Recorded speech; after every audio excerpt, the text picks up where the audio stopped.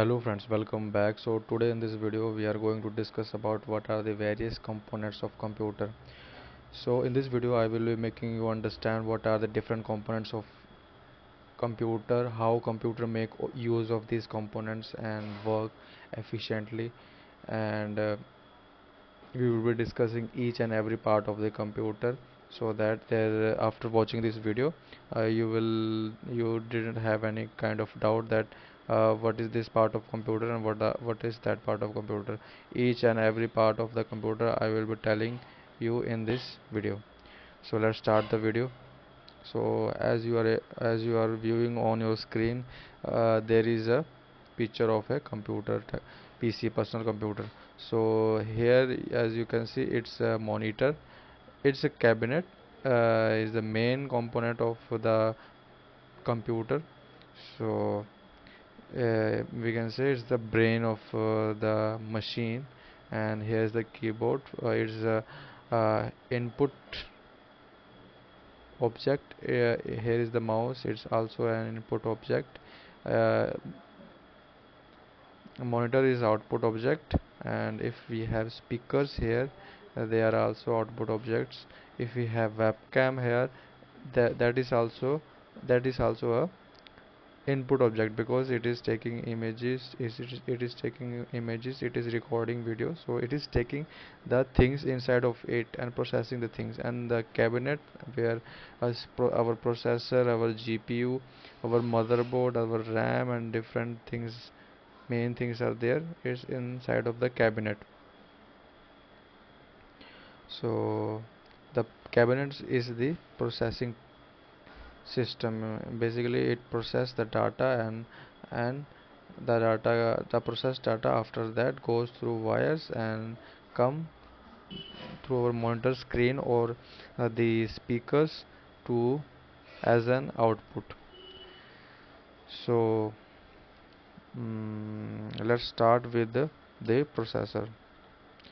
So as we know uh, there are different kind of processor available in markets of different brands different companies. Every year launches their different and new generation processors. So the best true brand processors that are currently at the top in this marketplace in this world are of uh, Intel and Ryzen. So in Intel uh, we come to know about uh, i3 processor i5 processor i7 processor i9 processor. Their latest series processor is of i9 and and with that processor uh, they are also providing the generation of the processor which type of generation of this processor is. So in i3 uh, as of as of now that is to, uh, to 2023 uh, there is a latest generation processor that is of 13th generation processor. And for other like i5 and uh, i7 and i9 there are same generation 13th generation processors is going on. The i3 i5 i7 differs from each other from their processing speed. If you have a processor of i3 with 13th generation and you have a processor of i9 with 13th generation then uh, in then in i9 there will be more threads more cores to compute the uh, things that you are doing on your computer. Uh, rather than uh, there are less things on i3 13th generation processor. So uh, according to that also the prices get changed uh, the i3 processor ranges around 15,000 to 20,000 of 13th generation and i9 processor with 13th generation may range you around uh, 90,000 to 1 lakh 20,000 that depends upon what type of processor you are taking because in processor if you have a 13th generation processor then the there are different series of 13th generation processor there is a U series of 13th generation processor there is a P series of 13th generation processor and there is a H series of 13th generation processor.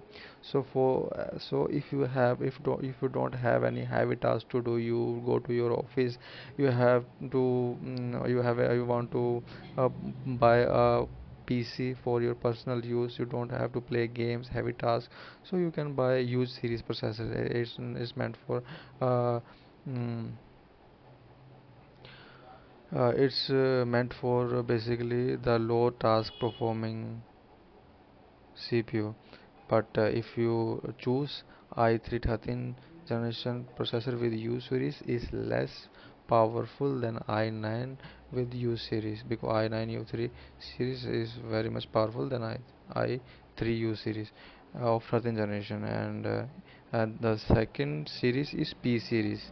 So P series for those who want to do moderate things like uh, they want to play gamings they want to do video editing and stuffs like that uh, like um, not very much high work or not very much low work. They want moderate work to be done by their system so they can go with P series. And uh, last one is our H series so H series is a very very very fast processor. It consumes lots of energy and its TDP ratio is very high. So if you have very uh, very what we say very lots of computing tasks and you want to complete um, uh, that in less time then you can go with H series processor. H series processor take lots of what we say power and uh, it consumes lots of power to compute the things and its TDP is also high. Mm, so as I have told you if you go with i9 13th generation processor it it goes around 90,000 to 120,000 why I have said that? Because there are different series of processor.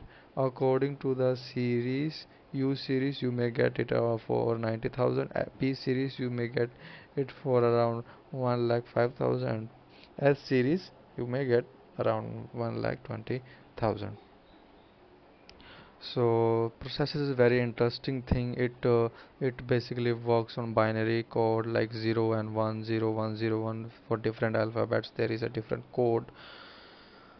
And if uh, for example if you write uh, somebody's name like uh, someone name is Arjun and uh,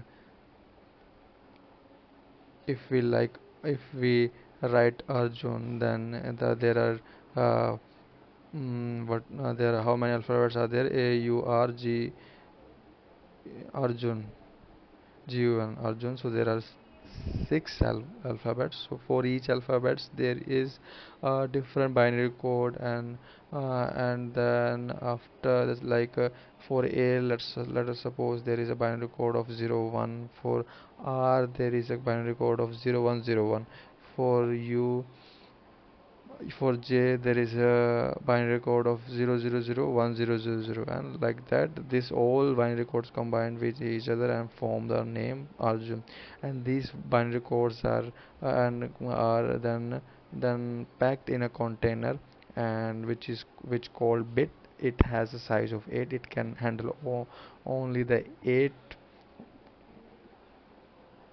8 digit binary code and then the packets binary um, containers are then sent to the um, processor and processor after that uh, compute the things uh, uh, what we what the um, user is telling to the processor it's computing the things and then it is giving the output according to the need of the user so we can say the processor is the brain of the computer or the PC so it's very very very very what we say very main part of the computer. It's very precious thing. And don't try to open your PC and check it how my processor look like because they have the pins. If you uh, if you if you uh, if you touch any of the pin and it get uh, it get uh, deflected then it may cause you lot of money because each and every pin in the processor have its own work. So one pin is misplaced from its bottom area then uh, the whole processor get uh, vanish so after that we have our RAM. So what are RAM? RAM are the random access memory. Oh, also for the full form of RAM is random access memory. RAM are the basically read and they basically show the read and write speed of the PC for example if you are opening surfing through a website and you scroll down scroll and scroll down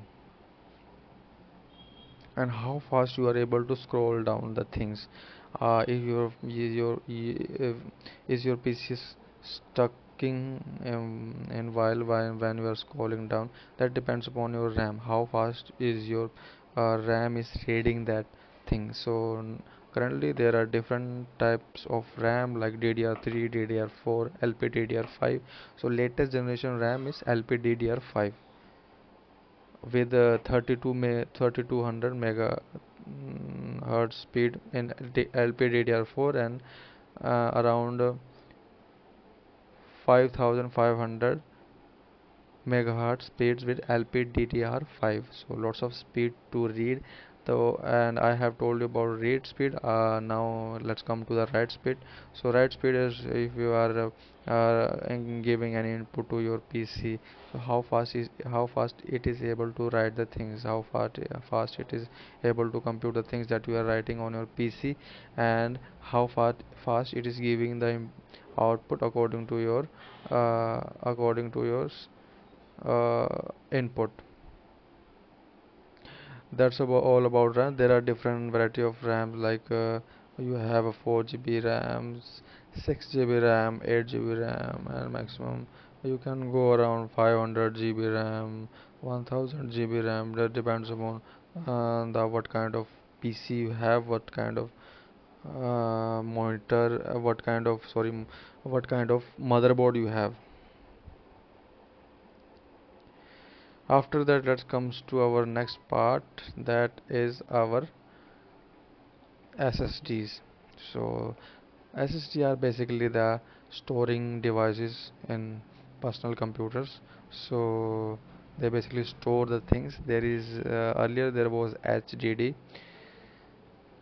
HDD were HDD working process was on rotation thing rotating the disk inside the that uh, hard drive uh, but in SSD it works on chemical uh, it works as a chemical uh, processing. So um, SSD is more faster than HDD processor and uh, mm, nowadays the usage of SSDs has been decreased drastically and the SSDs in, uh, uses of SSD are increasing in personal computers each and everywhere in this world mm, in a very good amount. So there are different brands that of that that they offer uh, SSD so latest generation SSD is of uh, generation SSD of generation 4 SSDs they are really fast speed. Their mm, read and write speed is uh, very good. And if you choose good uh, frequency good megahertz uh, SSD then what will happen? Then your uh, boot time of your uh, PC will also uh, get shorter and you will get much time much, much easy to use and you will get mm, more, more access to your PC so I request if you are buying a new PC so you should always check what type of SSD it has. And uh, uh, and uh, it should be uh, around 550 512 GB minimum because nowadays there are lots of storage uh, we need lots of, we require lots of storage. So minimum you can take to 512 GB storage and you, you may take um, less or more than that according to your budget. So next is our graphic card. So graphic what is a graphic card? So graphic card are basically for those who play games. If you have um, graphic related uh, things uh, if you want to work on graphic related things if if you have any work like if you want to mm, do video editing if you want to do uh, like uh, 3d animation things and uh, mm, like uh, photoshop then you can choose a good uh, good quality of graphic card. You can go with 16 GB of NVIDIA graphic card. That is very good. If you are doing a good amount of uh, video editing and uh, playing very intensive game then you can go with that. But uh, the graphic card also consume lots of power. So according to your needs according to your requirements you can you should choose your the graphic card. So these are the main components. For uh, first of all our CPU is the most important component. After that is our RAM. After that is our SSD in third number. After that if you want more if you want more speed you can go with graphic card.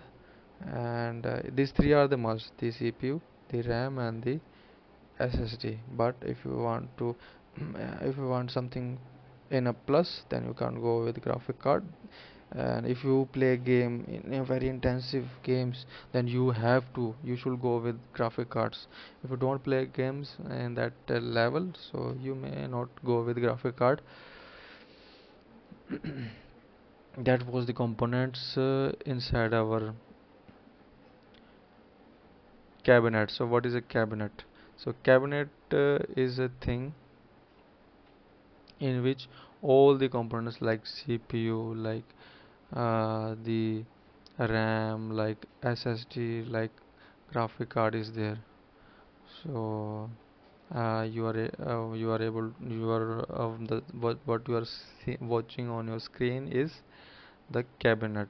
So here is the processor thing here is the graphic card here are the RAMs there are wirings and these are the cooling things. They are basically exhaust and intake of air is are from here.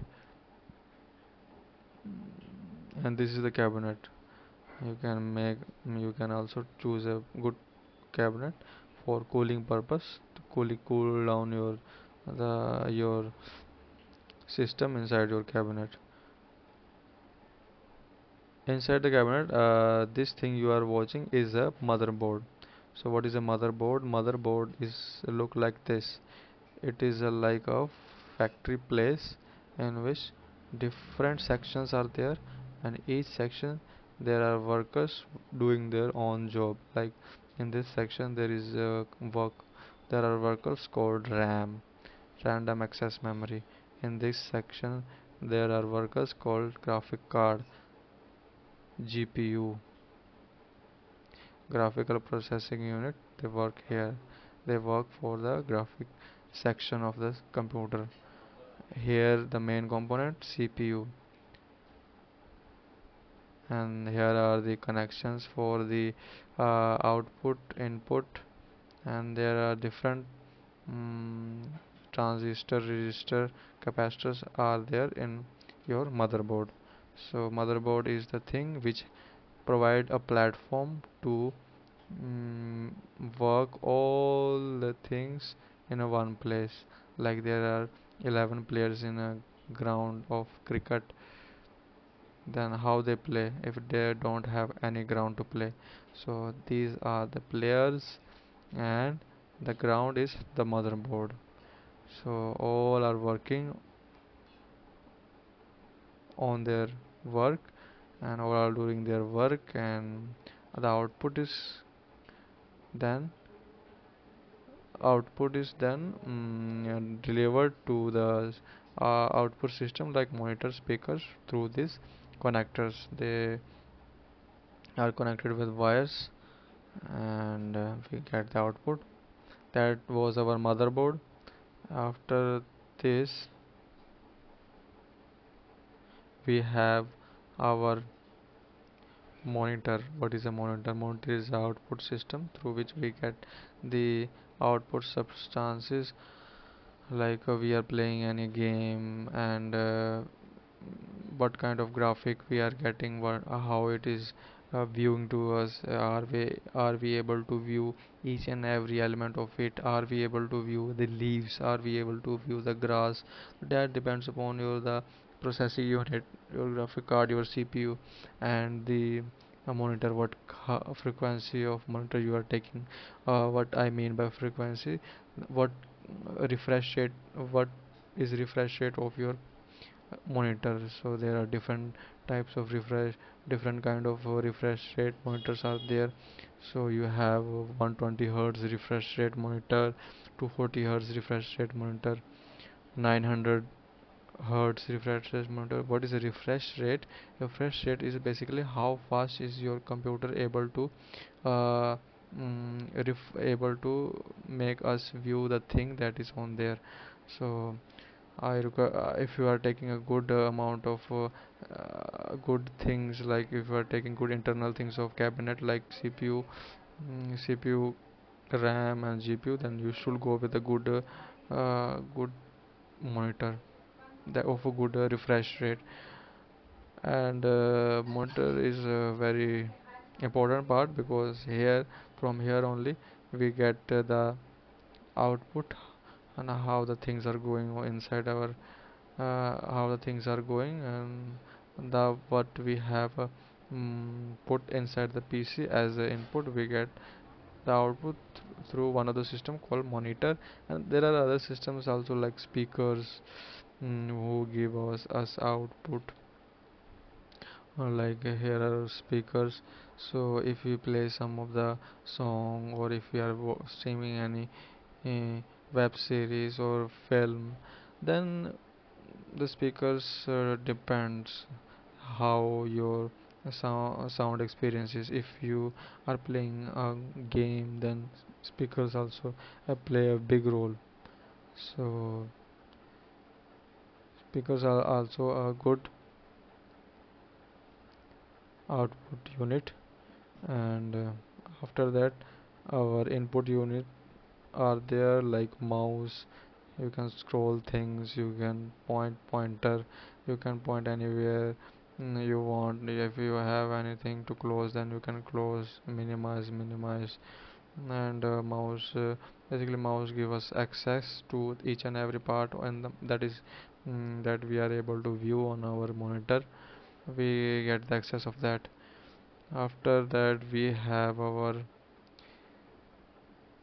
keyboard. So keyboard is also the very important input unit. It take input what is going in our mind and then it uh, mm, it provide us output according to that.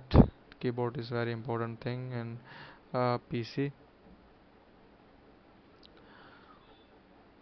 and after keyboard we have our UPS if you have uh, mm, we should buy a UPS if you are buying a personal computer because what a UPS does is uh, when your computer or a PC is running if by chance some uh, electricity shortcut is sh short circuit is there by chance uh, electricity short short circuit has happened uh, in your house.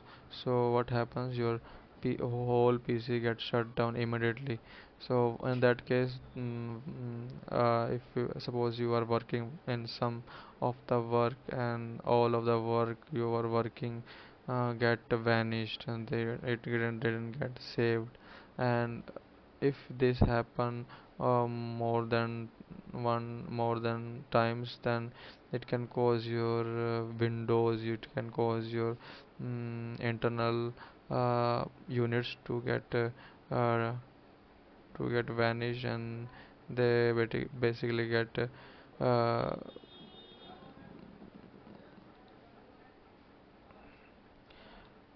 get useless if if this thing happen because the sudden closure of the uh, system get uh, effect to the internal organs internal components of the PC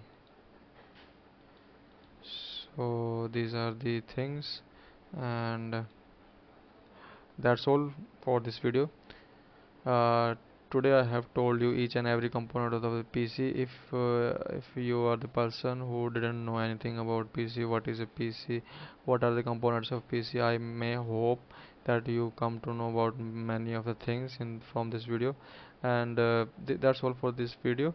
Uh, meet in let's meet in next video. Till then bye